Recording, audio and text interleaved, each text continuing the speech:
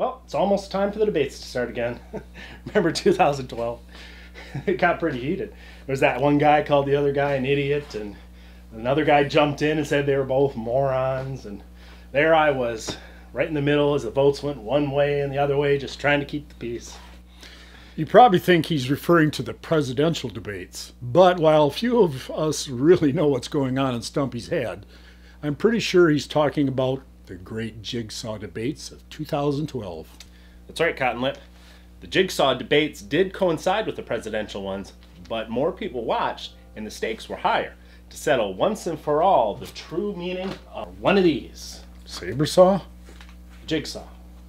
I'm not going to get everybody worked up about it again. I get enough email invitations to do obscene things to myself as it is. Let's just say some people call it a jigsaw, some people call it a saber saw, and at least one fan called it a reciprocating saw and called me a jackwagon. There's only one way to make everybody happy, the same way I respond to every problem in life. I make a new tool. So I made my version of the jigsaw, a benchtop unit that makes a very handy tool even handier. And as the undisputed king of my workshop, I decreed that that thing shall be called the Stumpy Nubs Upside Down Jigsaw for cutting up stuff. Rockwell calls it a Blade Runner, but what do they know? Anywho, since I already settled the issue, you may wonder why we're revisiting it today. Well, it's simple. I used the sucker so much, I burnt up the cheap yard sale saw that I mounted inside. And since the inner carriage was custom built to fit that saw, I'm going to have to rebuild the carriage to fit a different cheap yard sale saw. Plus, I have a couple ideas to improve it. So that's what we're doing this time on the Stumpy Nubs Workshop.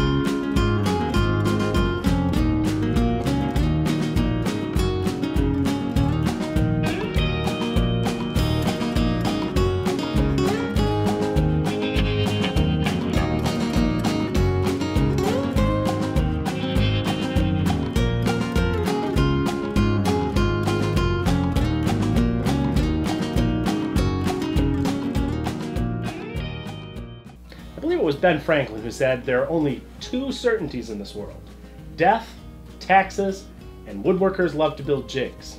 I've built thousands of them, maybe gazillions, but this one gets more use than any other. I love this thing. I can make curved cuts like a bandsaw without having to enter from one of the edges. It's also successfully been used to cut plastic, metal, and I even used it to cut tile. It's not a precision tool, although with fine blades and care it can be pretty precise but it's one of the handiest tools in the shop, and it wasn't very difficult or expensive to make. While I did have the Rockwell Blade Runner in mind as I designed it, I didn't want an exact copy of their saw, I wanted something better, with more features. Mostly, I wanted to be able to make beveled cuts, so that was a major consideration in the carriage design, as the mustache will tell you. Tell them. Stumpy created pivot points on the front and the back so the saw carriage would tilt on the axis. That axis also had to tie into the arm on the top, which acted as a blade guide and a hold down. Everything had to tilt together on the same axis. It worked really well, but you might have noticed that on the Rockwell version, it has an offset arm which connects to the back corner. This is so you can make long rips with the saw. Personally, I don't ever see myself making long rips on this thing. That's what my table saw is for. But some of you might prefer to have that option. So I decided to redesign my arm. I mean the arm on the jigsaw. I think they get it. You want to tell them about the guide bearings? It's up to you. They're useless. There, I said it. What Stumpy means is the bandsaw style ball bearing guides the original model featured, they looked like a great idea, but they actually do very little to stabilize the blade. Jigsaw blades, of course, are much thicker than bandsaw blades. They really don't deflect very easily when you use them properly. So this model will eliminate them. I also want to make a proper hold down because sometimes when you're cutting curves, the workpiece can start jumping off the table and I'm holding on for dear life. Kind of like when I tried riding the dog. We're getting way ahead of ourselves. I'm gonna go get some parts cut and be right back. Want to look funny? Check out Stumpy's swag, where we have t-shirts, mugs, and more inspired by Stumpy's unique and sometimes twisted sense of humor. All proceeds go to the production of more woodworking goodness at stumpynubs.com. Alright, I was browsing my local jigsaw store when I noticed that the new ones have a handy dandy quick release feature that makes blade changes fast and toolless, so I bought one. Then I noticed a problem. They don't make jigsaws with flat sides anymore. They've got more curves than Roseanne Arnold, plus all sorts of knobs and doodads on the sides. Securing it in a carriage is going to be a problem. And that really stinks because I loved the carriage feature on our first saw design. But I thought about it over a long time and many cold ones, and I kept coming to the same conclusion. The best way to mount the saw is with the base that already comes on it. My beloved carriage is history. I'm gonna need a minute.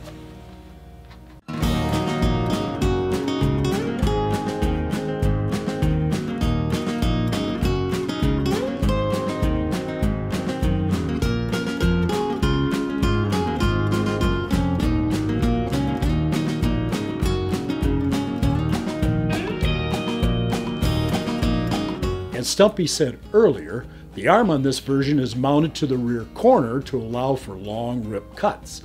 It's laminated from pieces of hardwood, leaving a channel that fits over a piece of T-track for up and down adjustment. Because this version eliminates the blade guide bearings, the arm no longer has to tilt with the blade, greatly simplifying the mechanism and increasing the thickness of the material you can bevel cut. Uh, a piece of metal is attached to the end to serve as a hold down. Of course, we have to have a drawer in the front like the original design for holding all my junk, but one thing that is vastly different about this version is how you access the saw.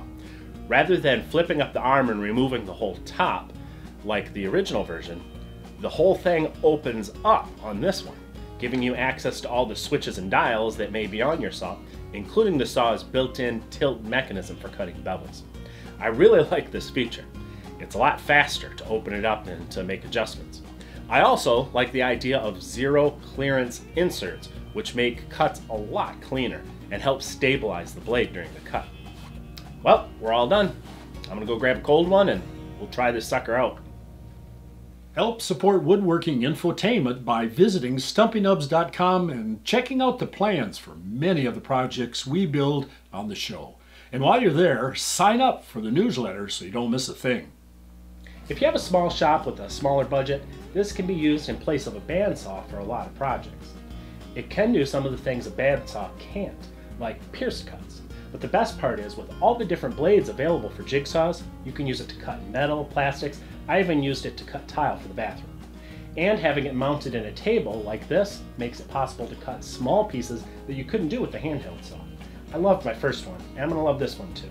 If you're thinking of building your own, consider picking up a set of plans over at, yesstumpynubs.com.